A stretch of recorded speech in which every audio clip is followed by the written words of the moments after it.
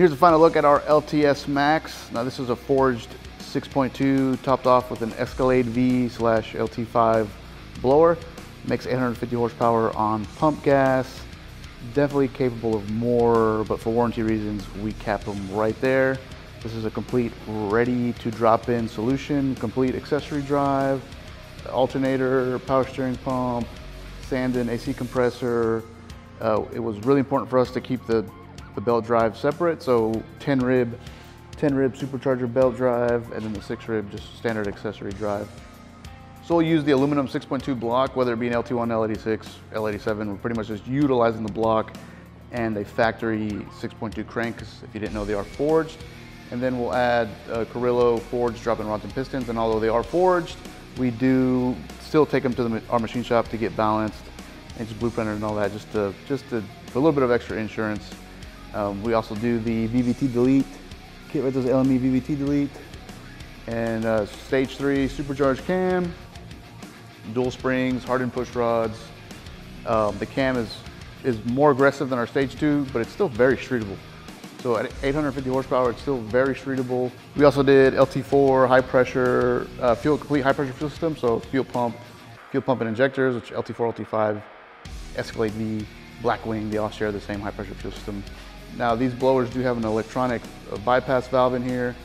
Uh, it connects here, we have a controller for that. The other part is on our accessory drive, we wanted to keep it as compact as possible.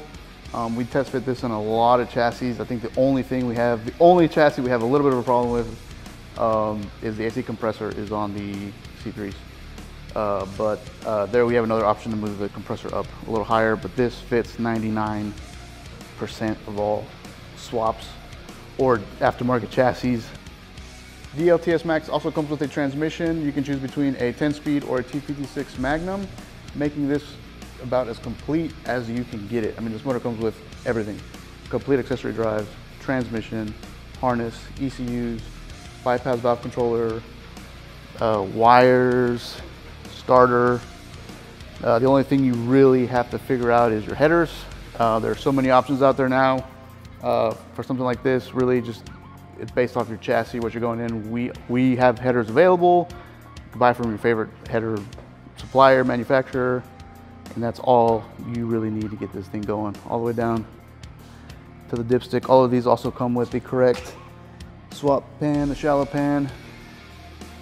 So they're pretty much ready to go. This is essentially our version of the LT5 is what it is. Uh, the blower is basically identical. The, the only difference is the LT5 had a different lid that said Corvette on it and it had port injection, which if you didn't know, the only reason they would use a port injection on the LT5 was to keep the cats happy.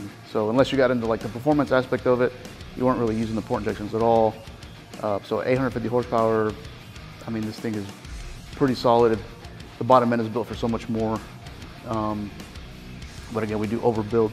When we do stuff like this, we tend to overbuild them because we want them to last. And the other cool thing about the V stuff with accessory drive is that we also offer the GM, the GM LT4 long blocks we get, and then we finish them out here.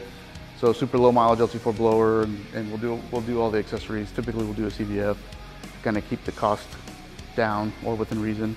But if you wanted to do the, you could throw the V blower on the LT4 because the V Blackwing is essentially just an LT4 engine with a bigger blower.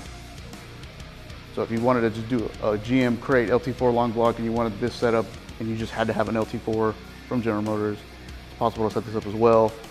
This is built for a bit more, this is built for a bit more abuse. Um, because we'll warranty these and not General Motors, so we tend to overbuild them. But here you go.